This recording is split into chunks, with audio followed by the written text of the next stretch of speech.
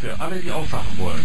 Ohne Blatt vor dem Mund werden die Machenschaften der Dims und der Cracks, der dunklen Kräfte hinter den Kulissen dargestellt, diskutiert und die Verschwörungspraxis aufgedeckt. Jeden Dienstag und Donnerstag von 16 bis 18 Uhr mitteleuropäische Zeit hereinhören. Mehr unter wakenews.net.